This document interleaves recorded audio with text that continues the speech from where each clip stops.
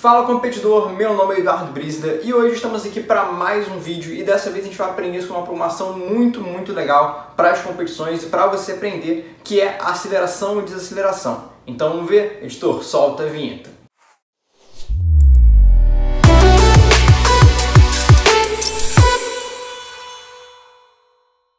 A programação de aceleração e desaceleração é até bem intuitiva e uma programação que serve para fazer o seu robô acelerar e desacelerar. E por que essa programação é tão importante? Porque a aceleração e desaceleração faz com que você otimize o seu tempo de deslocamento, de locomoção.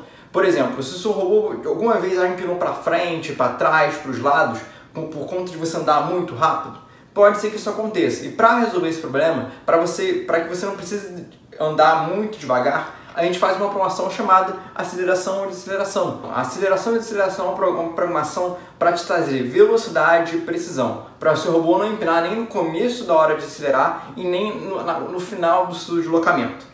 Então, para isso, agora que a gente entendeu um pouco como funciona a aceleração e desaceleração, para que serve, qual o seu propósito, vamos ver a parte mais lógica, como é que a gente pode fazer ela, entendendo ela, de como a gente, a gente traz ela para o mundo real. Então, vamos para o computador. Estamos aqui num gráficozinho para entender como é que funciona a lógica de uma aceleração. Então aqui tem um gráfico eh, em dois eixos, que é força e distância. Então no primeiro momento a gente está parado, está em, zero de distância. Então eu quero acelerar. Então aqui eu vou ficar aumentando minha força, aumentando minha força, aumentando minha força, até chegar, por exemplo, em 100 de força, o nosso máximo. Quando eu chegar em 100 de força, o que, que eu vou fazer? Eu vou começar a desacelerar. Vou desacelerar, desacelerar, desacelerar, até chegar na distância final que eu quero que o meu robô ande. O importante da aceleração e desaceleração é uma programação que a gente vai andar uma distância específica. A gente pode fazer ele acelerar e desacelerar uh, o tempo todo, mas não faz sentido. É, é, importante a gente ter essa noção de distância para a gente saber o quanto a gente quer que ele acelere e o quanto a gente quer que ele, ele desacelere. Então, para isso, por isso que eu coloquei esse x dividido por 2, porque a metade dessa distância ele vai acelerar e outra metade ele vai desacelerar. Então a gente pode até fazer o seguinte: a gente pode acelerar com uma velocidade mais rápida, com uma intensidade mais rápida, e na desaceleração a gente pode reduzir um pouco, porque senão a gente vai acelerar muito e acelerar muito. Pode ser que até, em vez de a gente chegar aqui em zero, quando, quando a gente chegar à distância, a gente pode chegar aqui, por exemplo, em 10 de força. A gente desacelera e chega na posição final com 10 de força. Então, é importante da lógica você entender isso é que aqui a gente vai trabalhar com duas variáveis. A gente vai trabalhar com a variável da força, que vai ficar alterando o tempo todo, a gente vai alterar a força o tempo todo, e a distância, que a gente vai definir no início da programação, mas também ela vai ser importante para a gente saber o quanto a gente, quanto, quanto a gente tem que acelerar e o quanto a gente tem que desacelerar. Metade dessa distância a gente vai acelerar e metade a gente vai desacelerar. Então, agora que a gente entendeu como é que funciona a, lógica, a lógica de uma aceleração e aceleração, é hora de colocar isso em prática, colocar isso na programação. E para isso, eu vou, eu vou, te ensinar como fazer essa programação nos dois softwares da Lego, que é o EV3G e o EV3 Classroom. Primeiro, vamos entender como é que ele funciona no EV3G e ver a performance dele no robô. Estamos aqui no EV3, no EV3G. Então, a primeira coisa que a gente tem que fazer e definir são algumas variáveis, as variáveis que a gente vai utilizar para fazer a nossa lógica de aceleração e desaceleração. Então, eu venho aqui em variáveis e vou criar algumas variáveis, não muitas. Eu vou criar uma que é a força, que eu já falei que é importante. Vou criar uma outra que é a distância.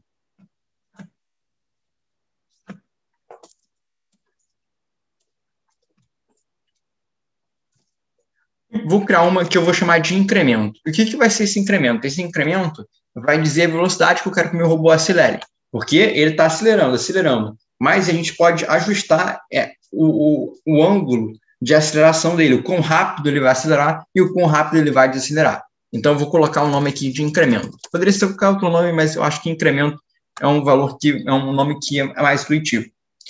Depois que eu criei essas variáveis, o que eu vou fazer? Ah, o detalhe, eu vou colocar para ele, ele reiniciar meu, um dos meus motores B ou C. No caso, eu estou utilizando meus motores na porta B ou C. E por que eu, eu, eu coloquei para reiniciar? Porque a ideia é que a gente transforme isso num bloco que a gente utilize várias vezes uh, durante a programação. Então, a gente tem que saber exatamente o qual, qual, qual a distância que ele está.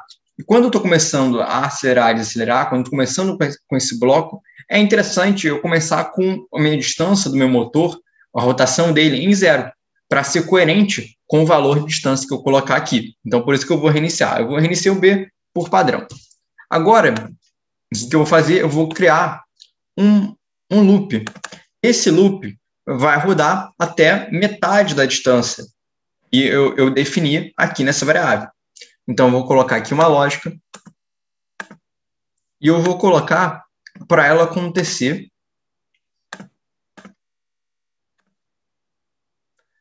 até ficar numa distância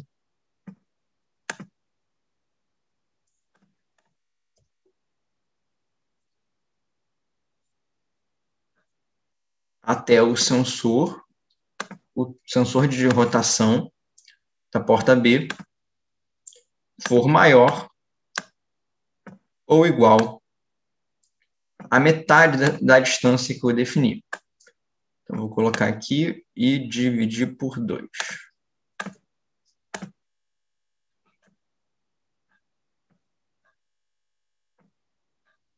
E aí esse loop vai encerrar.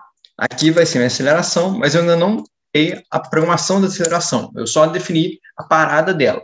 Então, aqui, esse loop vai terminar quando ele chegar na metade da distância que eu defini aqui. Então, se eu coloquei aqui 1.000, o, o meu robô vai andar até 500. Agora que eu vou fazer a lógica para ele acelerar.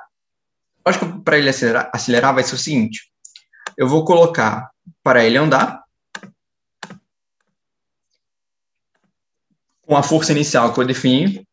Normalmente a gente nunca coloca, inicia com zero, a gente inicia com uma força razoavelmente baixa, eu vou colocar 20, mas em termos didáticos pode considerar que é zero.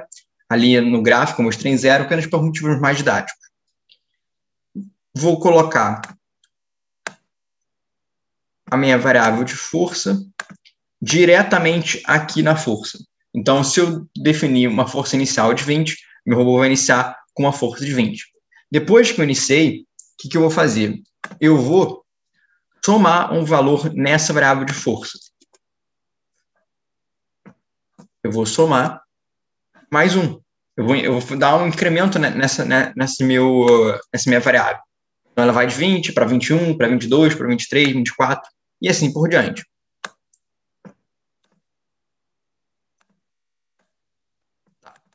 E lembra que eu falei do incremento, da velocidade que eu quero que ele acelere e desacelere?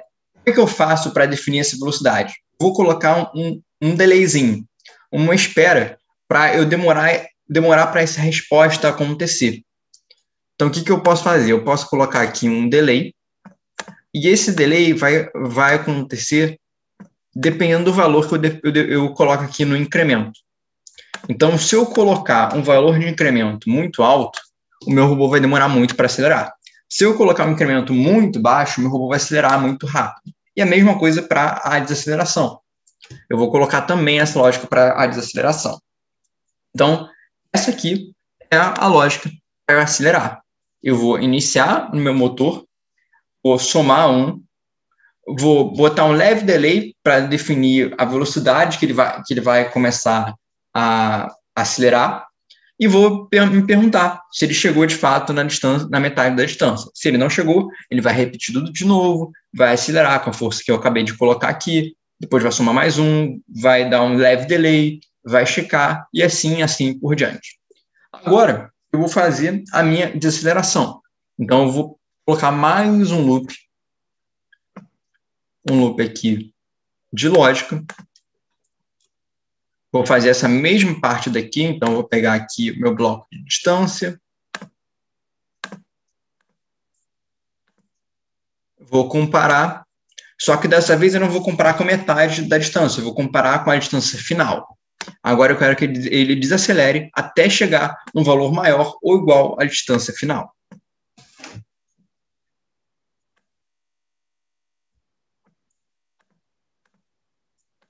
Meu motor aqui, isso vem aqui, meu motor em graus vem aqui. Medida graus, isso.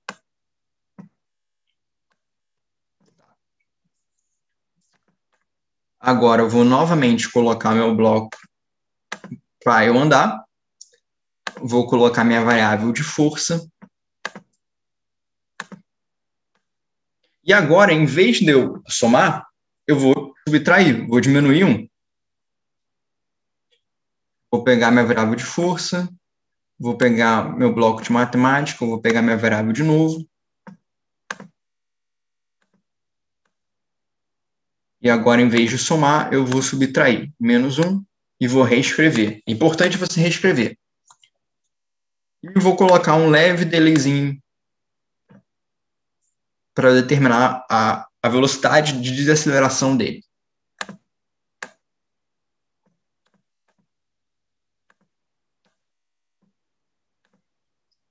Incremento. Esse vai ser meu loop que eu vou chamar de desaceleração. Vou chamar de desacelerar. Vamos ver, vamos ver se está tudo ok. Criei minhas três variáveis, força, distância, incremento. Iniciei o meu motor. Iniciei o meu, o meu, o meu motor aqui, a força, somei um, dei um leve delay do incremento, falei ao meu robô checar e parar quando ele chegar na metade da distância quando for um valor maior, é igual à distância. Aqui eu vou desacelerar, negativo, incremento de novo para a velocidade de desaceleração e checar se está um valor maior ou igual à distância. Agora vamos ver ele funcionar, né? Vou colocar aqui uma distância, vou definir mil, acho que mil está bom. Vou definir um incremento, vou definir um incremento de 0.002. 0,002. Lembre que é um, é um valor para você colocar muito pequeno. Por quê? Porque o seu robô ele pensa muito, muito rápido. Então, se eu colocar aqui 2, ele vai demorar muito. E se eu colocar um valor muito, muito baixo, meu robô vai nem, nem contar. Eu não vou nem colocar 0,02, eu vou colocar um valor maior mesmo. Ele está muito alto. 0,2 eu acho que já é suficiente. Então, vamos ver ele funcionando. Vou começar com 20 força.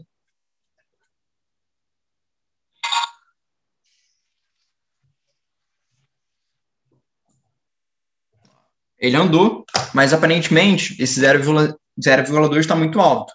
Ele está ele, ele tá demorando muito para acelerar, mas deu para perceber que ele começou a acelerar um pouquinho. Vou diminuir aqui para 800. 800.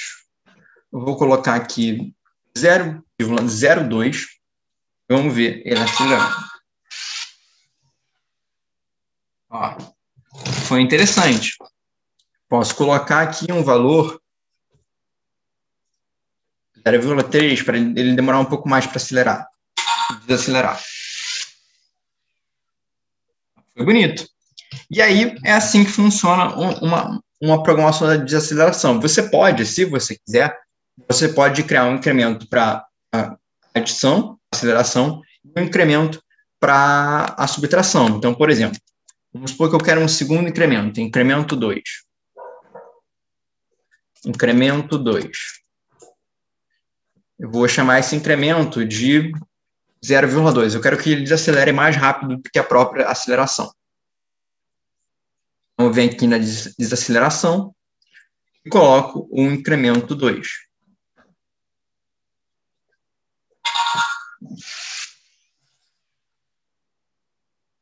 E foi.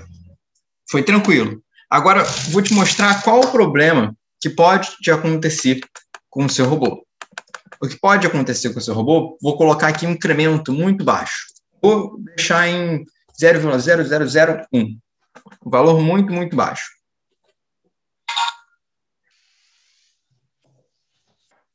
O que aconteceu aqui? Eu acelerei com uma certa taxa. E quando eu desacelerei, eu fui decaindo minha força, decaí minha força, decaí minha força, até um ponto que passou de zero. Eu desacelerei demais e comecei a andar negativo. Então, isso que você tem que tomar cuidado. O que você pode fazer para não, não sofrer problema caso aconteça isso? Pode colocar aqui na desaceleração uma condição.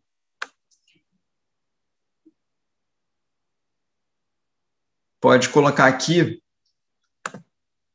uma condição que se a variável força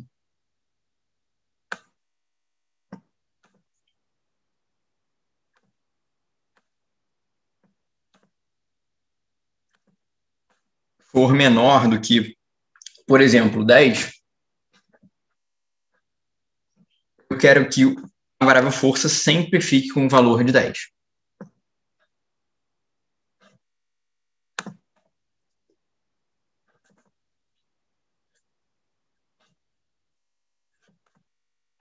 mandar o código aqui, vamos ver. Mesmo código, não mudei nada, só coloquei isso aqui. Ó, conseguiu terminar. Ele, ele, no meio do caminho, começou a perceber que ele ia andar negativo e começou a andar com uma força constante de 10. Então, isso que você tem que tomar cuidado. Apenas um aviso para se o seu robô sofrer esse problema. Agora, o que a gente pode fazer? A gente pode transformar isso numa, numa block. Essa programação está muito grande para a gente colocar e utilizar na nossa competição o tempo todo. Primeiro detalhe que você pode fazer, esse, esse, esse loop de aceleração, a ideia é que você não mexa, nunca mais. A partir do momento que você definiu que ele vai acelerar e desacelerar, metade da distância ele vai acelerar, metade da distância ele vai desacelerar. Você pode criar um, um bloco fixo, um bloco fechado, uma caixinha preta. Então, vou criar aqui o meu construtor de bloco.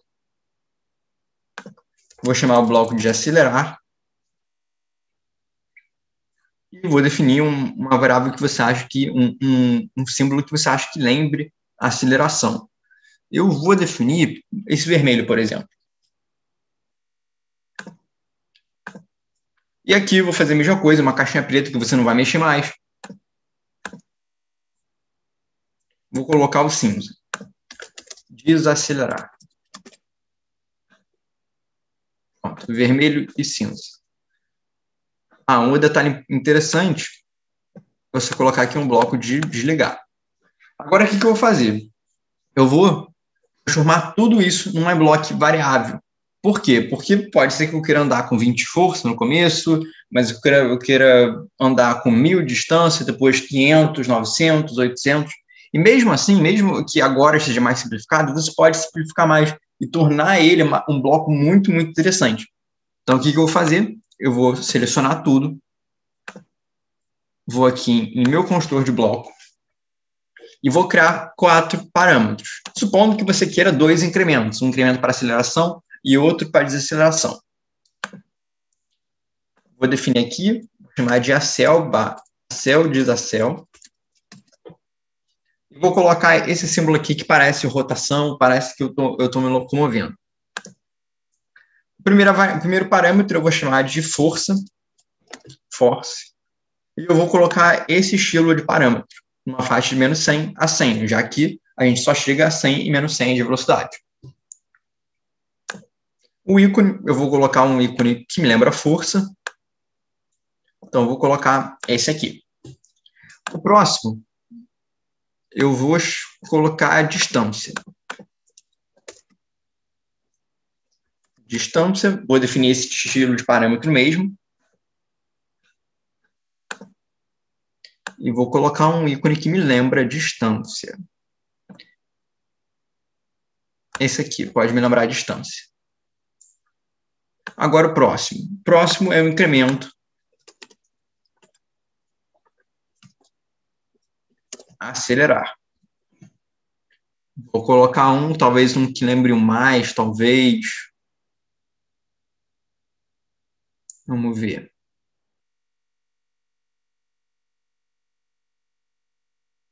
Ó, esse aqui, talvez, um incremento do mais. E aqui, incremento do desacel. Incremento, incremento para desacelerar. E pronto, criei as minhas quatro variáveis. Agora eu vou concluir. E tem aqui meus parâmetros. Vou colocar a força aqui. Só vou puxar ela aqui para cá. Deixa eu tirar isso aqui. Colocar ela aqui.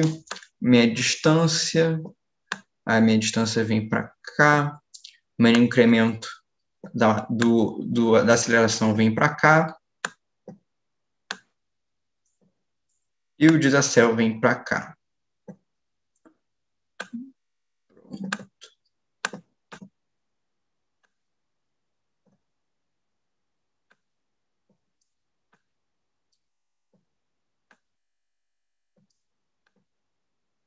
agora está um bloco bonitinho. E esse é o meu bloco. Criei um bloco. Se eu quero agora começar com 10 de força, eu quero andar 500, eu quero acelerar 0,02 e eu quero desacelerar 0,02 também. 3, talvez eu quero, eu quero, eu quero, eu quero começar devagar, mas quando eu chegar no final eu não quero estar tão devagar.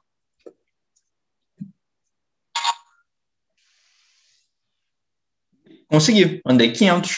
Se eu quero que ele ande 900,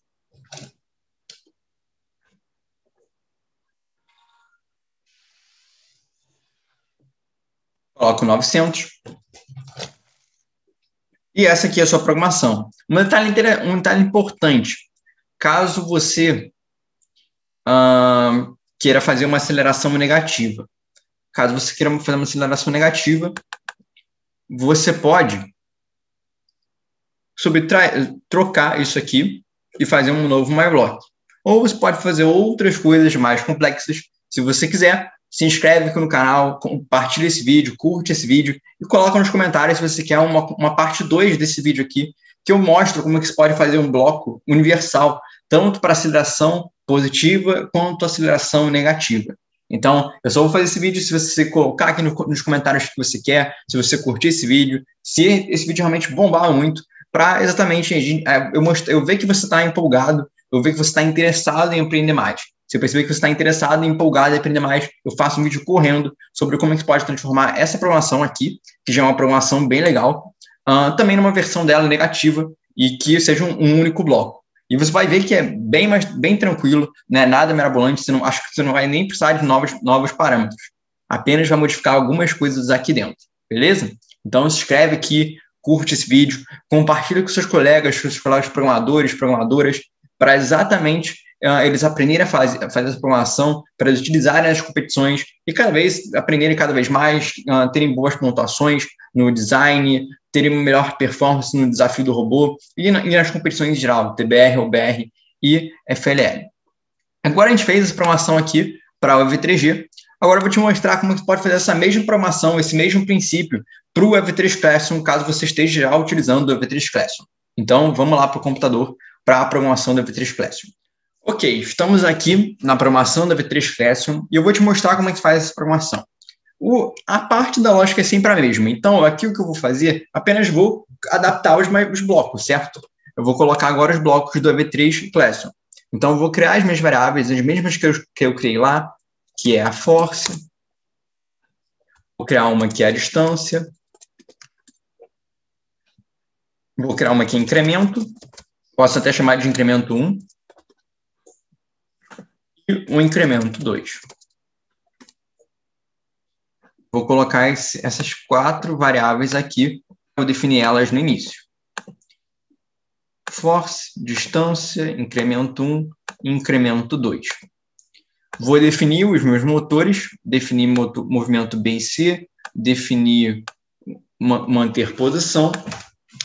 Fiz todo o meu setup, minha configuração inicial dos meus motores, das minhas variáveis, Uh, e agora eu vou fazer a minha parte da lógica. vou pegar aqui em controle, vou colocar esse bloco de até que, que é como se fosse o nosso ciclo, o nosso loop de lógica, e eu quero que ele repita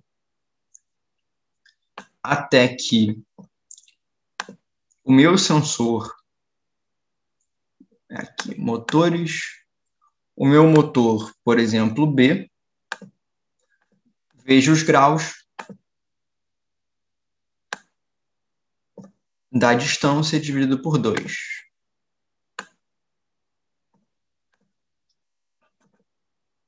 Eu tenho que colocar aqui no início para ele reiniciar os graus.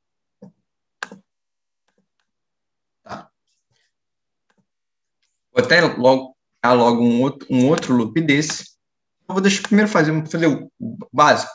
Aceleração primeiro, depois aceleração. Então aqui fiz a parada, a, a, a interrupção do nosso loop. Agora eu vou fazer a parte dele andar. Então, eu vou falar para ele andar com a velocidade da força e vou falar para ele adicionar nessa variável força o valor de 1. Vou aqui em controle, falar para ele dar um, esperar o tempo que eu coloquei no incremento 1. E essa aqui é a lógica do, da aceleração. É bem, bem mais compacta. É uma, uma das vantagens da, do, da V3 Classroom, que às vezes a lógica fica muito mais simples, muito mais compacta. Agora eu vou fazer para a desaceleração, até que vou colocar TC maior, vou pegar logo, não, isso não vai ter dividido por 2, é até o valor dos graus computabilizados serem maiores do que o valor da distância. Vou colocar para ele andar. Agora, eu vou falar para ele adicionar na variável força menos 1, que ele vai, é como se fosse estivesse subtraindo. Eu estou adicionando o valor negativo. E vou falar para ele esperar o incremento 2, que a gente vai definir lá, lá em cima. E depois de tudo isso, eu vou falar para ele parar os motores para ele não acabar andando demais. E falei para ele parar de mover aqui. Então, essa aqui é a programação.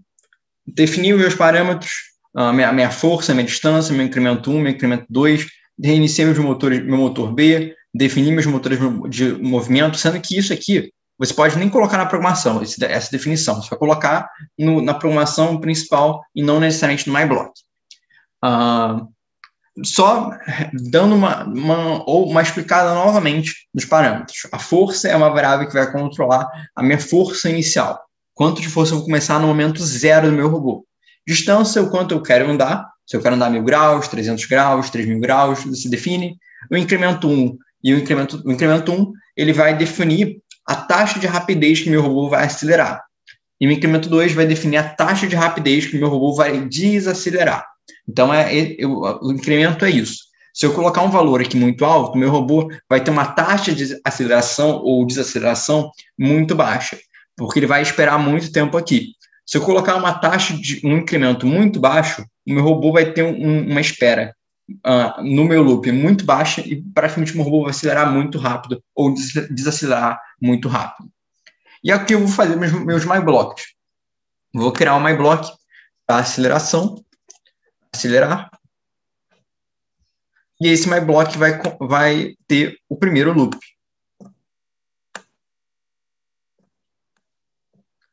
Criar um outro bloco aqui de desacelerar.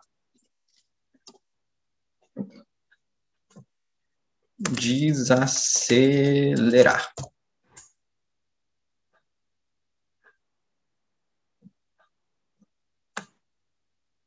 Eu posso até colocar o parar de mover logo no desacelerar também, mas eu vou deixar aqui. Vou colocar um bloco de desacelerar, de acelerar, e aqui depois o desacelerar.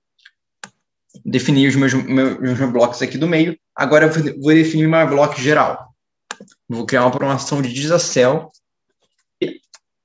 a cell e desacel. Vou adicionar quatro entradas. Então, uma delas vai ser a força, outro vai ser a distância, incremento 1 e o incremento 2. E essa programação aqui vai para cá.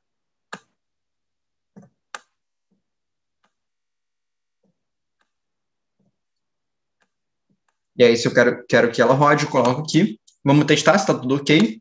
Ah, tem que colocar aqui as variáveis. Força, distância, incremento e incremento 2. Agora, os valores que eu colocar aqui vão acabar indo para cá.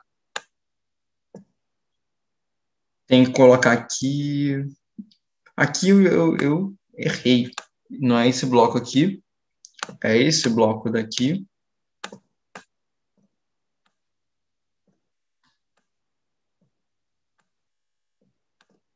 e vamos ver se está tudo ok. B é maior que distância, maior que a distância da metade da distância, incremento 1, incremento 2.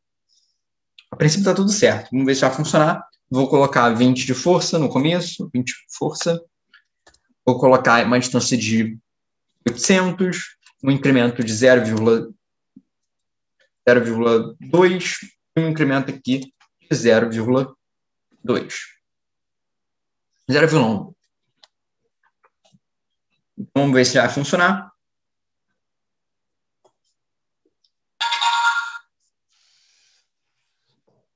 E foi. Posso, ah, aqui eu tenho que colocar para ele parar e sair do programa. Eu posso até desacelerar, mas vamos ver. Vou colocar 0,2 também.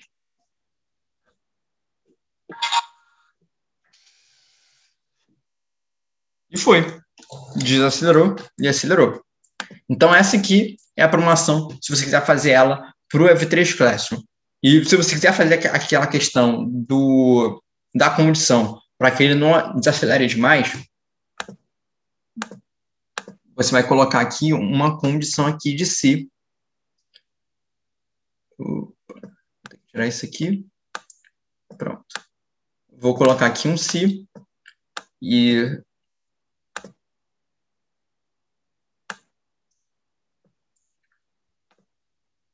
se a variável força for menor do que 10, eu quero que ele altere a variável força para 10. E essa aqui é uma ação dele para acelerar e desacelerar para frente. Se você quiser que eu faça um vídeo de como é que você faz para acelerar e desacelerar, andando para trás, andando negativo, comenta aqui embaixo, curte esse vídeo, manda para o máximo de pessoas possíveis uh, que vão gostar, vão querer que faça uma programação dessa, vão querer aprender essa programação básica primeiro, essa programação, essa primeira programação, e aí depois a gente mostra o upgrade. Então, a princípio é isso. Se você gostou desse vídeo, curte esse vídeo, se inscreve no canal e compartilha com seus colegas para esperar por aqui na comunidade de robóticos e ajudar cada vez mais equipes, cada vez mais colegas a aprenderem sobre robótica e terem, e terem bons resultados nas competições. Então, muito obrigado por assistir e até o próximo vídeo.